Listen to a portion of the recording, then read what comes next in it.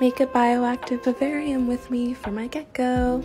So the first thing I'm using is lava rocks. I made sure to rinse these with water because they come very dusty, but I'm using this as my drainage layer. Then I use a mesh lining for my substrate barrier, and at first I cut it too big, but then I trimmed it down and it was much better. For my substrate, I used a mix of organic topsoil, Zilla Jungle Mix, and sphagnum moss, and then I mixed that all up and laid it down.